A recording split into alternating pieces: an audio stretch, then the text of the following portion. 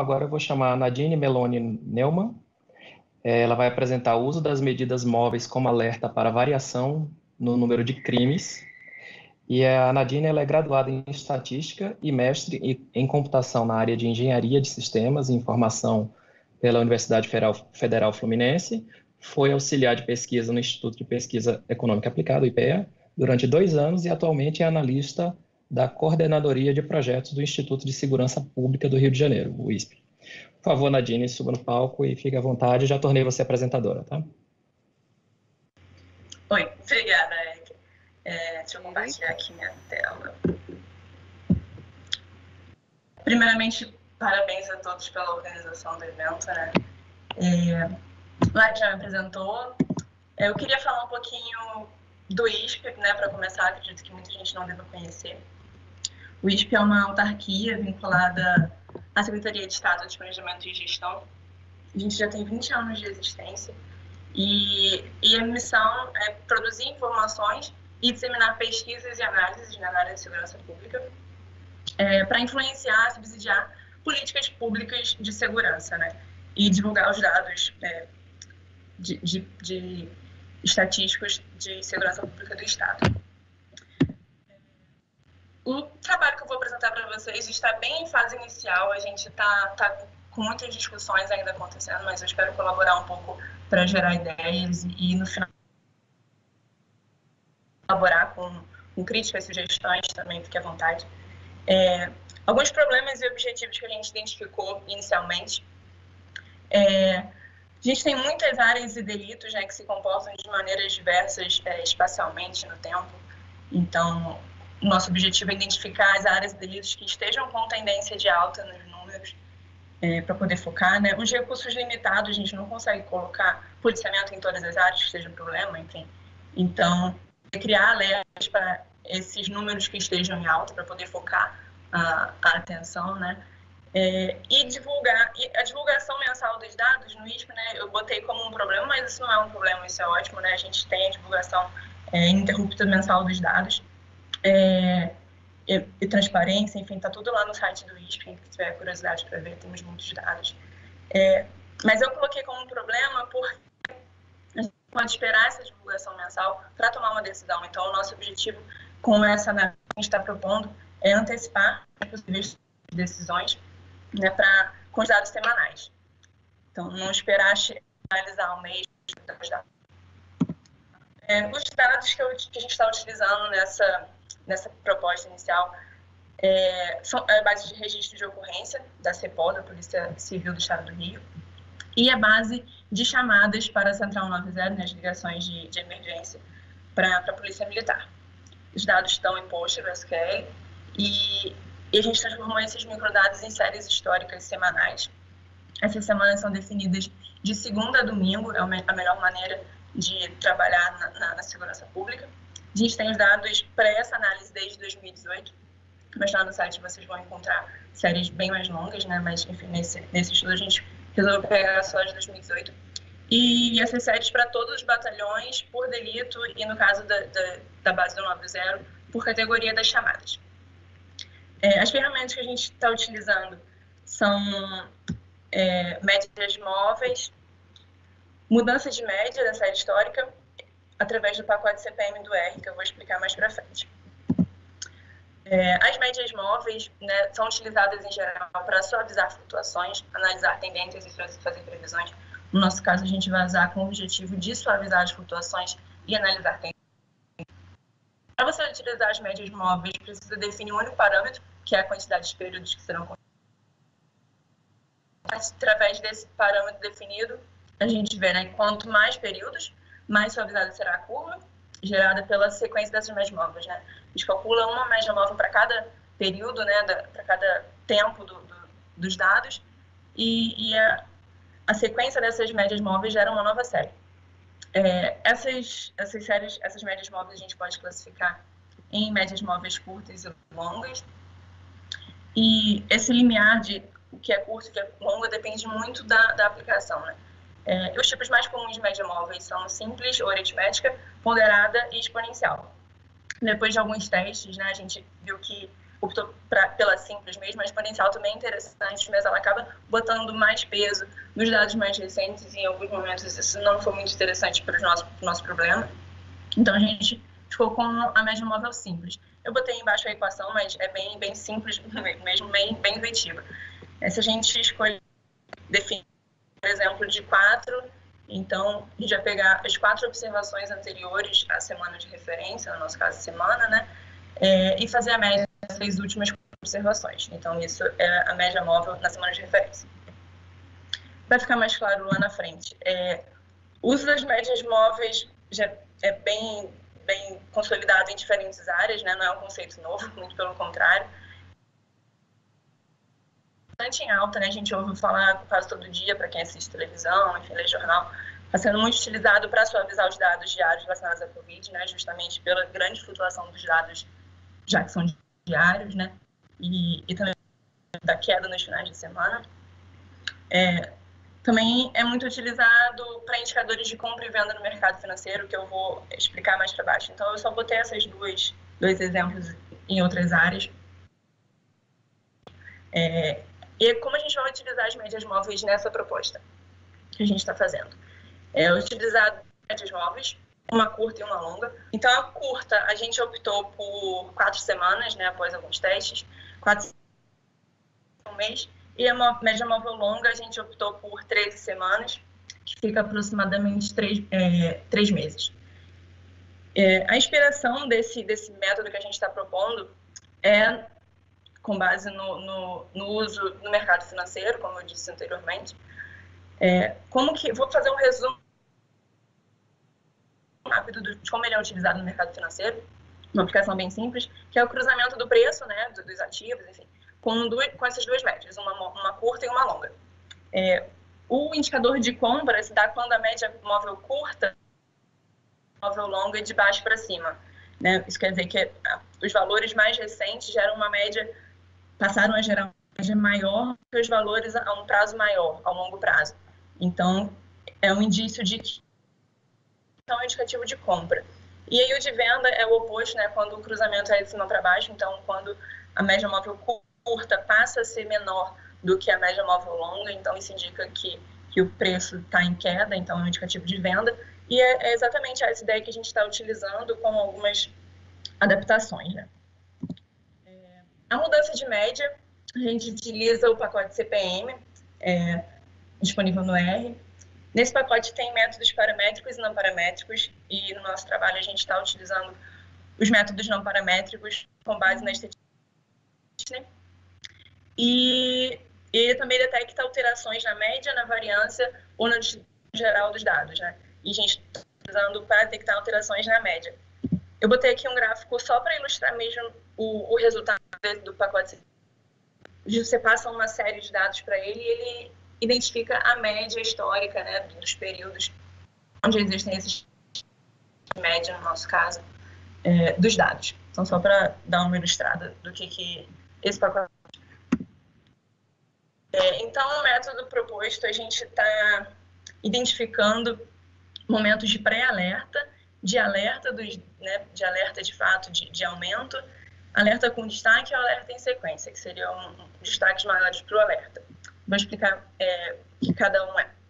Para o pré-alerta, a gente pensou, já que a gente tem dados com muita flutuação, né, é, sobe então, a gente, para criar um alerta, a gente exigiu que tivessem duas semanas seguidas com, com condições é, sendo verificadas, né? Então, esse pré-alerta é, condiciona na semana seguinte ser verificado ou não o alerta de fato. Então, para o pré-alerta, as condições são que a média móvel curta seja maior do que a longa, né? Ou seja, a quantidade de crime ou de ligações do, do, do, último mês seja maior do que a média dos últimos três meses.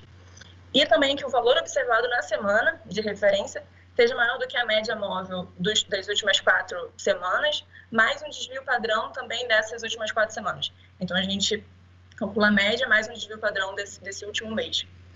É, Para o alerta, né? Após ter sido verificado o pré-alerta na semana anterior, então foi verificado o pré-alerta, então na semana seguinte pode ser verificado o alerta ou não. Para verificar o alerta, as condições são muito parecidas com o pré-alerta, ele é, é só a única diferença é o de, que a média móvel curta seja maior do que a longa e que o valor seja maior do que a média móvel curta.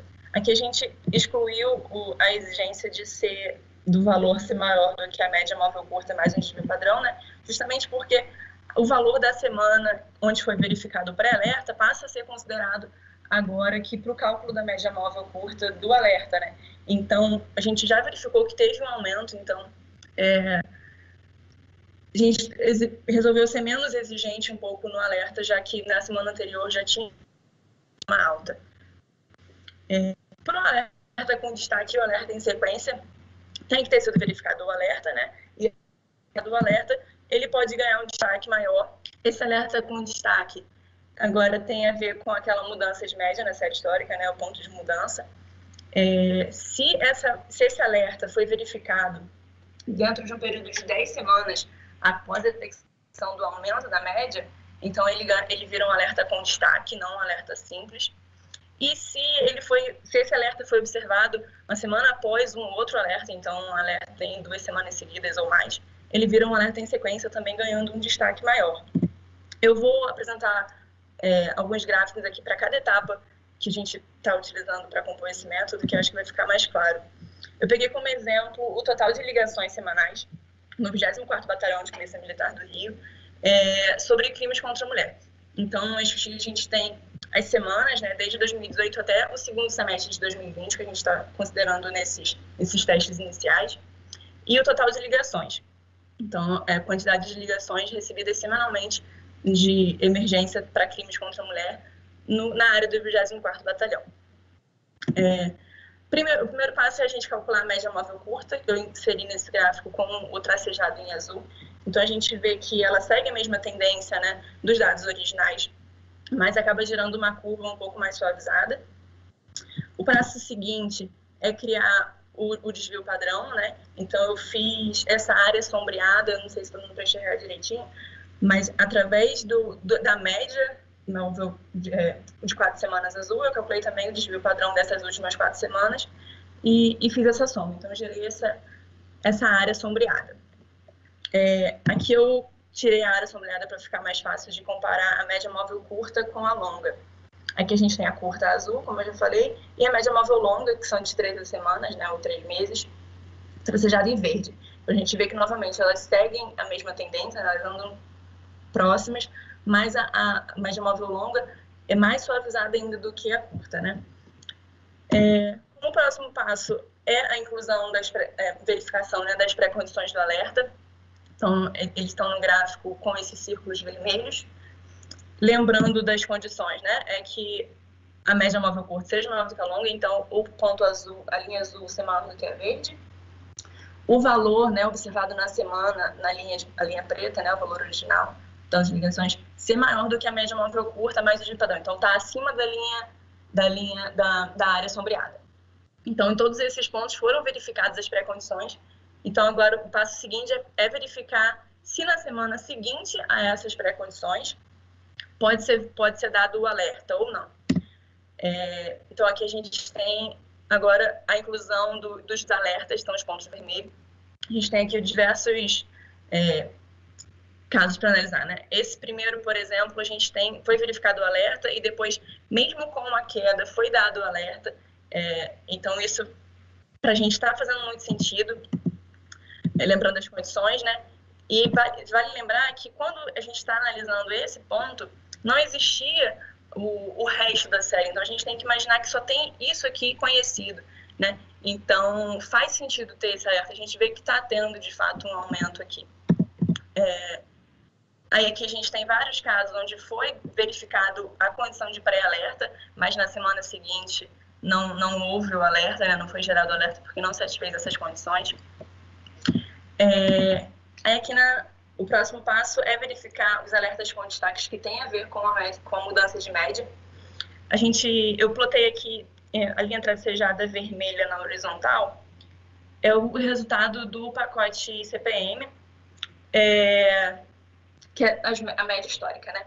Então, a gente só, para a gente só é interessante a mudança de média quando é um aumento de média, na verdade, né? Então, esse, essa área é interessante e essa área aqui também é interessante. Eu marquei um pontilhado rosa aqui na vertical o momento que foi detectado essa mudança, né? Então, porque como a gente está passando ponto a ponto para o algoritmo, né, para o pacote, é, ele não identifica a mudança exatamente onde acontece a mudança. Quando chegou nessa semana que ele identificou a mudança de média, né, o aumento de média da, da série histórica. Então, a partir dessa semana até 10 semanas seguintes, se acontecer algum, algum alerta, ele ganha esse destaque maior, que foi o, o asterisco vermelho que eu coloquei aqui. Então, esses dois não poderiam ser, né, apesar de eles estarem dentro é, após um aumento de média, esse, aumento de média ainda não tinha sido detectado quando a gente estava nessa semana. A gente tem que pensar que, que é uma coisa que acontece é, e aí a última, o último que a gente tem é, esse alerta acontece em semanas seguidas, né? Eu botei uma cruz preta, um maisinho, né? O sinal de mais. Então a gente tem esse ponto, por exemplo, com o destaque de aumento de média da série histórica e a sequência também, então é um, um super alerta. É, aí agora eu vou apresentar para vocês alguns resultados dos testes que a gente está fazendo. selecionei aqui novamente para ligações de crimes contra a mulher, agora dessa vez no 15º Batalhão. É, nesse período que a gente está analisando. E aqui a gente vê, de fato, nos, nos períodos de aumento, tendo diversos alertas, né? Esse momento aqui que teve um grande aumento, de fato, com vários alertas, então é interessante. É, um outro resultado também de ligações do batalhão, novamente aqui com resultados interessantes, momentos de, de aumento com, gerando alertas. Aqui a gente vê né, um momento de, de um valor alto, de fato, com um pré-alerta, mas na semana seguinte não foi gerado alerta, porque de fato ele caiu muito, né, então o alerta não foi gerado. É, e, e aqui esse aumento de novo, com vários alertas sendo gerados. É, outro, outro exemplo aqui agora, arroba transeunte, no, no 5 Batalhão, que é a região do central do Rio de Janeiro. É, alertas sendo gerados aqui, né, nesse momento de alta, novamente, aqui também. E aqui um problema que a gente está, é, como eu falei para vocês, o, o trabalho está em, em, fase ainda de desenvolvimento. Aqui a gente chegou num ponto que está sendo discutido nesse momento, que é é, a, a, com, a quarentena, né, o isolamento, os números de roubo transeúnte caíram muito. Então, agora, com, voltando um pouco mais ao normal, né, tendo um aumento, um pequeno aumento, ele já gerou o alerta. Então, essa discussão, né, deve ser gerado alerta nesse momento ou não, enfim, o que fazer, porque apesar de estar tá tendo de fato um aumento, ele está muito abaixo do que era o a gente pode chamar do normal, né, dos números então, é um, é um, um ponto de discussão. É que outro, né, o, o aumento para furto a transeunte no, também no 5 Batalhão, esse, essa volta ao normal, né, gerando vários alertas, né, porque de fato está tendo um aumento. E outro ponto também que a gente está em discussão é a sazonalidade, né, médias móveis. E aqui, nesses dois picos, a gente vê o carnaval. Então, a gente sabe que é, vai acontecer de fato um pico, né, por causa do carnaval, por conta de toda a movimentação que acontece na região central, e foi observado também no ano anterior, mas mesmo assim foi gerado o alerta aqui, né, porque está de fato em, em, alta. Então a discussão é, é para gerar esse alerta ou não, né, o que fazer. Enfim, é, era isso, era, era essas ideias iniciais que eu queria compartilhar com vocês. Deixei meu e-mail para quem quiser mandar sugestões, mandar críticas, enfim, fiquem à vontade. Era isso, obrigada. Muito obrigado, Nadine, pela apresentação. Mas pelo, pelo seu sotaque, pelo endereço no final, isso foi feito no Rio de Janeiro, né? Eu imagino. Foi no nível Sim. de estado, só cidade, bairro? Foi em que nível? Estado. A gente, lá no, no Instituto de Segurança Pública, a gente trabalha com os dados de todo o estado. Né? Os dados de registro de, de ocorrência a gente tem do estado inteiro. Apenas o do 190 que a gente tem apenas para a região metropolitana, né, que é abordado a, a nossa base.